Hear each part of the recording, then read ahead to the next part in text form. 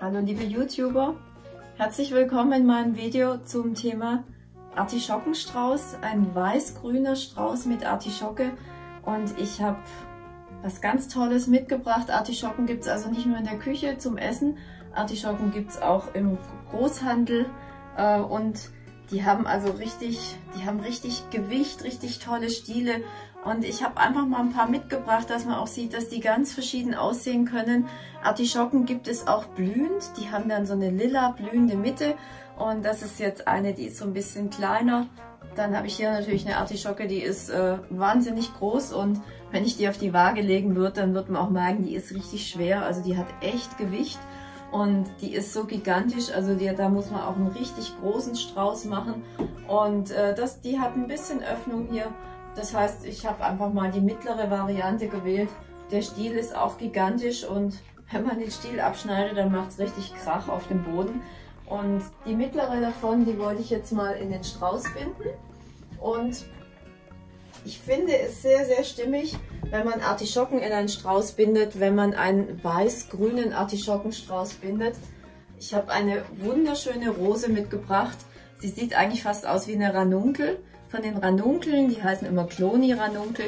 Da kennt man eigentlich diese Mitte, vor allem noch die mit diesen kleinen Fruchtständen. Aber es sind Rosen, eindeutig. ja, auch wenn der Schein trügt. Es ist aber eine seltene Rosensorte. Ich kenne auch nicht den Namen, weil wir haben so viele Rosen und es gibt immer, immer verschiedene. Ähm, dass, dass ich auch nicht alle Sortennamen kenne. Ich kenne viele, aber nicht alle. Und damit wir ein wunderschönes Arrangement in weiß-grün im Strauß binden können oder ich euch zeigen kann, habe ich ganz tolle Blüten mitgebracht. Ich lege die jetzt gleich mal auseinander und zeige die euch. Das ist natürlich hier diese, diese, schöne, diese schöne Rose in diesem weiß-grün. Die ist also auch so schon zu der Artischocke echt ein Knaller. Dann habe ich mitgebracht weiße Bartnelken. Wie alle Nelkensorten haben die also auch im Stiel hier diese Verdickungen. Wenn man die abschneidet, nie im Knoten schneiden, weil dann bekommen die nicht so gut Wasser. Und beim Putzen immer schön vorsichtig, weil die brechen ganz gern in den Knoten.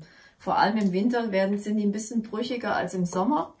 Und man sieht auch, was für ein Unterschied ist. Ähm, das ist jetzt die gleiche, der gleiche Einkauf, dieser kleine Stiel und die andere, die hat so einen richtig dicken, knackigen Stiel. Also auch die Blüten sind alle immer, immer völlig verschieden. Das ist normal. Dann habe ich mitgebracht Alchemilla, auch Frauenmantel. Ist auch eine Heilpflanze und soll auch bei Frauenleiden helfen. Gibt es also auch in der Floristik. Und so, sorry, die E-Mails kommen natürlich auch immer rein. Es kommen immer wieder Aufträge, auch am Feiertag. Dann äh, habe ich mitgebracht, ist auch eine Nelkensorte, eine grüne Bartnelke. Und da mache ich auch viele Blätter ab.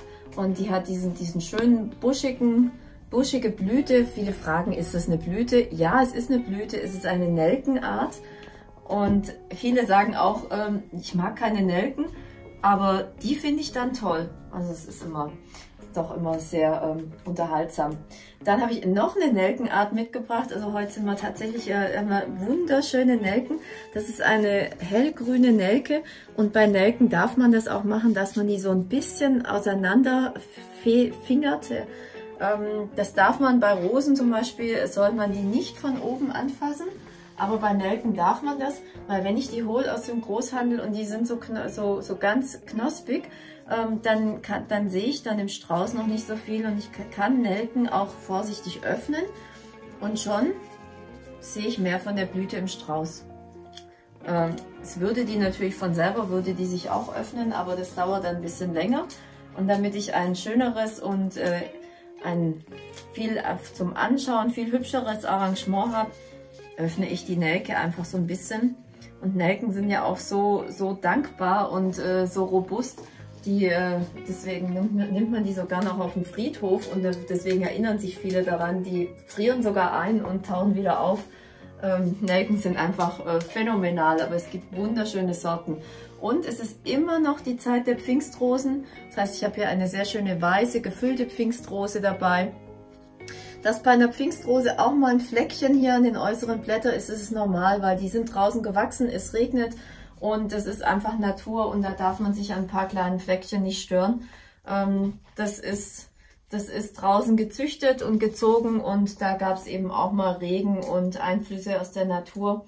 Das gibt es auch bei Rosen und die, dann wird mal ein Blättchen abgezupft und schon ist die Blüte schön. Das ist also gar kein Problem. Ich wollte dem Strauß eine schöne Mitte geben und habe so ein bisschen Gestrüpp gesucht und äh, deckt ganz gern auch die Mitte mal mit einem Moos ab. Nehme dann einen Draht da können wir auch wieder einen neuner Draht, den habe ich im letzten Video auch gezeigt, zum äh, Gerbera antraten. Genau, jetzt suche ich selber. Ich habe nur einen sehr, sehr langen. Den werde ich jetzt auch halbieren, weil meiner ist zu lang. Ich mache in die Videobeschreibung nochmal einen, einen Link für den Draht rein. Drähte sind immer toll, um, um Blüten zu fixieren, um kleine Bündel zu machen von äh, verschiedenen Früchten. Jetzt kommt ja wieder die Zeit der Früchte. Ich habe ich hab schon wieder unreifes Obst gesehen und ich muss sagen, da werde ich ja immer, da werde ich ja schon fast unruhig, weil ich das so schön finde.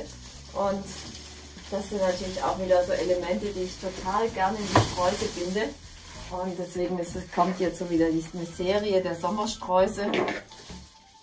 Und da brauchen wir natürlich immer Drähte, um, äh, um Früchte, um, um irgendwelche Zweige, um irgendwelche schönen Sachen zu fixieren im Strauß, äh, sind Drähte absolut notwendig. Also sowas muss man zu Hause haben. Ich mache dir auf jeden Fall noch einen Bestelllink äh, für Drähte in die Videobeschreibung, damit du, damit du auch weißt, welchen du bestellen musst. Ich habe einen schönen, einen schönen buschigen Efeu. Wichtig ist immer, dass der oben so schön buschig ist, weil wir, wir brauchen ja ähm, das, das Grün, um im Strauß die Blüten zu fächern. Und wenn der, wenn der Efeu so entlang vom Stiel wächst, dann ist der leider für den Straußbinden nicht so, nicht so tauglich wie dieser, dieses wunderschöne buschige Grün. Und ich fange jetzt mal an mit der Königin von dem Strauß, mit der Artischocke. Die ist natürlich die, ein Highlight in der Mitte. Nehme auch, äh, nehm auch hier so ein bisschen was, dieses natürliche Geäst ähm, legt es einfach an die Artischocke dran und ähm, macht den Draht von diesem Geäst, den wickle ich um die Artischocke drumherum und kann mit dem Efeu schon mal anfangen hier sehr schön zu fächern. Und die Artischocke, da muss man immer so ein bisschen aufpassen, dass die im Strauß nicht zu tief kommt. Die würde ich immer so ein bisschen höher setzen als das andere Grün. Das sieht dann sehr, sehr hübsch aus. Und wenn, wenn das Grün hier zu hoch steht, einfach mal ein bisschen was abschneiden. Also äh, man darf sich nicht scheuen, das Grün, äh, das Grün ruhig äh, in Form zu schneiden und da auch ein bisschen was zu kürzen.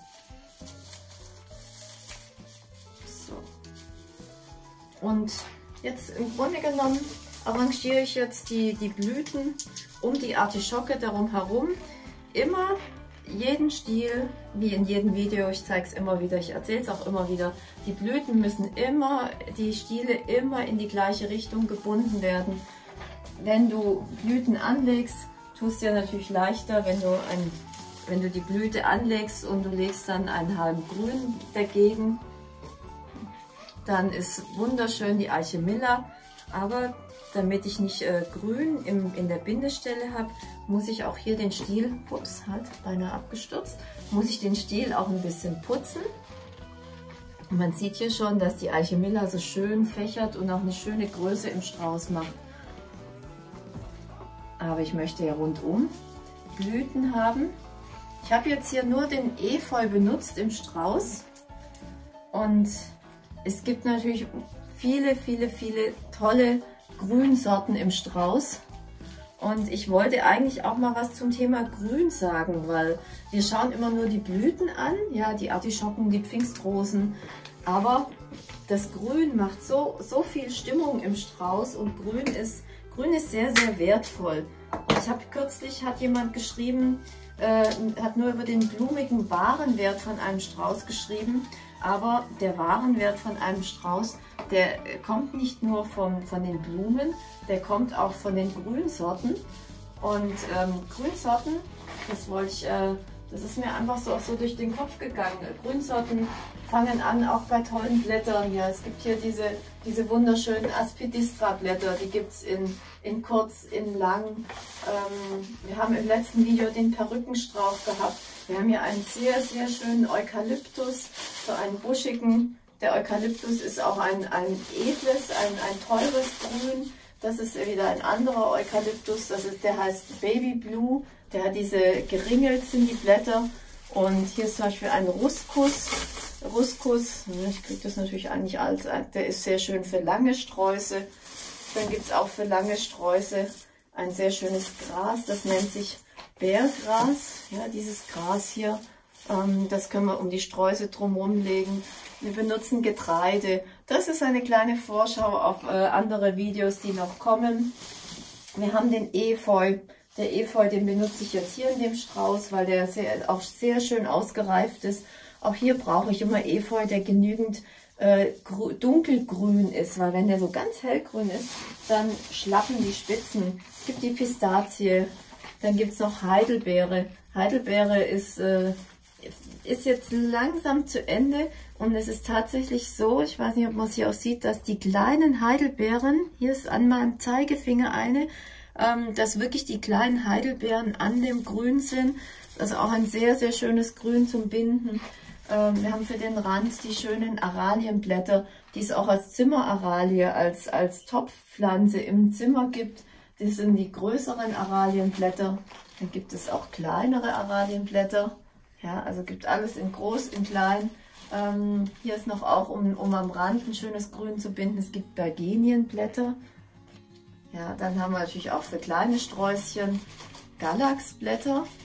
Galax gibt es in grün und in braun. Das sind Galaxblätter. Die werden sehr gern für Brautsträuße verwendet. Ähm, hier haben wir jetzt auch ein sehr schönes Füllgrün. Das ist ein portugiesischer Lorbeer. Wir haben Kirschlorbeer, den wir um die Sträuße drumherum binden. Also man sieht, das ist, ähm, das ist eine sehr, sehr große Variation an Grün, die man so verwenden kann und die auch wunder, wunderschön in Sträußen ist. Und es äh, macht sich in der Optik der Sträuße so bemerkbar, dass, wenn man schöne Grünsorten verwendet. Und es, Grünsorten sind ein richtiges Investment. Und das muss ich einfach auch mal so ähm, erklären und betonen, weil viele denken, Grün, Grün hätte nicht so viel Wert. Nein, genau das Gegenteil. Grün ist total wertvoll und je schöner die Grünsorten sind, die man als Florist kauft, ähm, desto schöner sind natürlich auch die Sträuße. Und das, diese, äh, ja, diese Info, die, die kommt dann doch manchmal zu kurz. Ähm, aber der Kunde guckt das Gesamtarrangement an und sagt, äh, der Strauß gefällt ihm gut. Und man sieht ja hier, wir verwenden auch hier ein bisschen Gestrüpp. Ähm, gibt es auch ein tolles Moos. Also es, äh, es macht sehr, sehr viel Stimmung.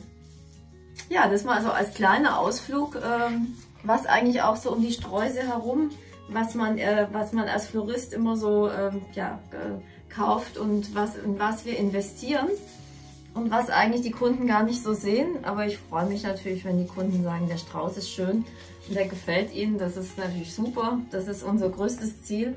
Warum sie den schön finden, das können sie ja nicht immer so, nicht so definieren wie wir, aber das, ich muss natürlich auch mal erzählen, was so dahinter steckt. Das ist so, ja, Floristik für Insider sozusagen. So, wir haben also jetzt hier schon einen sehr, sehr üppigen Strauß und ich denke, der hat auch in seinem, mit seinem edlen Artischocken, ich wollte, ich wollte den Frauenmandel nicht so verstecken, mit seinen edlen Artischocken. Ich muss mich mal von ein gewissen, bisschen Gewicht befreien. Hier, Achtung. das musste jetzt sein. Ja, dann wollte ich dem Strauß auch einen, einen schönen Rand, ein sehr edles Randgrün bescheren, indem ich diese, diese Aralienblätter, indem ich einfach einen, einen adäquaten Abschluss gestalte suche immer ein bisschen in den Grün, weil es gibt auch hier größere und kleinere Aralien. Und ich suche natürlich die Aralien, die jetzt passend für mich sind von der Größe her. Und die Aralien stütze ich noch ähm, mit Kirschlorbeer, damit die auch nach ein paar Tagen noch genauso an ihrer Stelle im Strauß bleiben, wie sie, wie sie jetzt noch sind, weil das kann manchmal sein, dass die sonst zu weich sind und ein bisschen nach unten gehen. Aber das soll ja so, so bleiben und so, der Strauß soll so schön stehen bleiben in dieser Form beim Kunden, dass der dann ganz lange Freude dran hat. Und da zweifle ich auch nicht dran, weil die ganzen Nelkensorten, die halten so schön. Die Artischocke hält ganz toll. Die Rose ist super knackig. Also glaube, besser kann es eigentlich nicht sein, was man für einen Strauß verwendet. Und ich bin ja auch immer sehr kritisch mit der Auswahl an Blüten, die ich so für die Sträuße auswähle oder was ich einkaufe. Und da kaufe ich natürlich sehr gern äh, sowohl Grünsorten als auch Blütensorten, die eine tolle Haltbarkeit haben. Das ist natürlich auch die, sind die Erfahrungswerte, die da auch äh, reinfließen.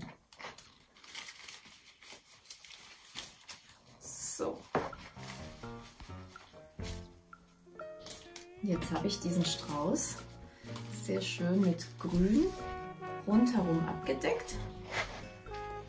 Alle Blüten sind dabei. Ja. Dann schneide ich den auch wieder auf eine Länge. Mit meiner, mit meinem guten Werkzeug, weil es kann natürlich auch mal sein, dass dass von dem Efeu auch mal so ein dickerer Stiel drin ist. Ja, der auch den ach, muss ich auch ein bisschen drücken, aber es geht. so, und auch den muss man natürlich mit einer scharfen Schere schneiden. Ähm, die auf jeden Fall sehr empfehlenswert. Bei Floristik 24 bekommst du super Werkzeug. Da gibt es sowohl die Floristenmesser, mit denen ich jetzt auch die Stiele anschneide, ähm, die Nelkenstiele, die, die Rosenstiele. Die bekommt alles noch einen schrägen Anschnitt. Und mit der, mit der Gartenschere kann man natürlich das dickere Grün immer sehr, sehr gut abschneiden.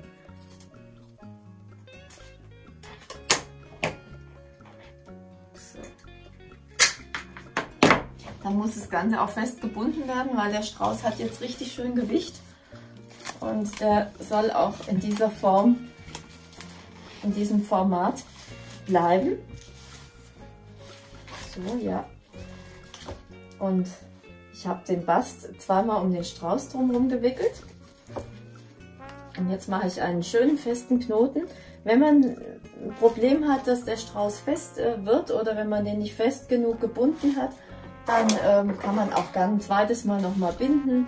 Beziehungsweise wenn du noch nicht so fingerfertig bist, einen Strauß in einem zu, ähm, ja, von der Hand her zu binden, dann kannst du auch die äh, Blumen arrangieren, dann binden und dann nochmal das Randgrün machen und dann nochmal binden, ein zweites Mal. Also man kann auch noch ein zweites Mal binden und es erleichtert einem die Arbeit, vor allem wenn man das noch nicht so oft gemacht hat, dann ist es natürlich äh, eine schöne Erleichterung, die man da auf jeden Fall äh, da, damit sich schaffen kann. Und so machen wir das auch bei großen Sträußen und äh, das ist äh, absolut hilfreich.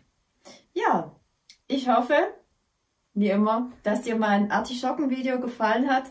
Ich muss gerade noch mal die Größte dazu halten und dass dir dieses, dieser weiß-grüne Traum auch gefällt. Ich freue mich äh, über Kommentare und Meinungen und äh, freue mich, äh, freu mich auch immer über Anregungen. Einfach alles reinschreiben in die Kommentare, Likes, empfehlt mich weiter, bleibt dran und bis zum nächsten Video. Schöne Tage, alles Gute, viel Spaß beim Ausprobieren von deiner Margit. Tschüss!